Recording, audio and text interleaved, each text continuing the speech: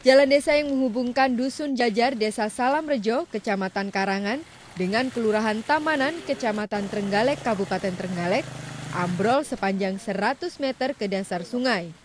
Bahkan aspal jalan hanya tersisa 30 cm saja.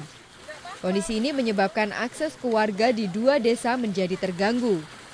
Meskipun cukup berbahaya, sejumlah warga nekat melintasi badan jalan yang tersisa dengan berjalan kaki maupun mengendarai sepeda motor. Ini terpaksa dilakukan karena ruas jalan ini merupakan akses terdekat dan satu-satunya untuk menuju kampung mereka. Ambrolnya jalan antar kampung ini dipicu meluapnya sungai Ngasinan yang ada tepat di samping jalan. Derasnya air sungai menyebabkan tembok plengsengan sungai ambrol dan menggerus badan jalan, bahkan nyaris putus.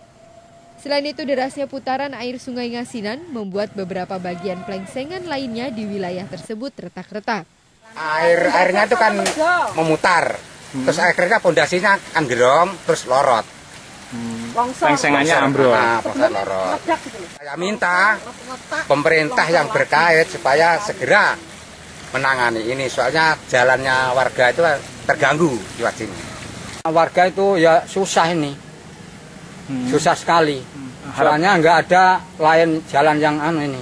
Hmm. Harapannya gimana? Segera dibangun ya, kembali? segera dibangun kalau minta segera. Warga berharap pemerintah daerah segera melakukan perbaikan karena jalan tersebut merupakan akses perekonomian warga.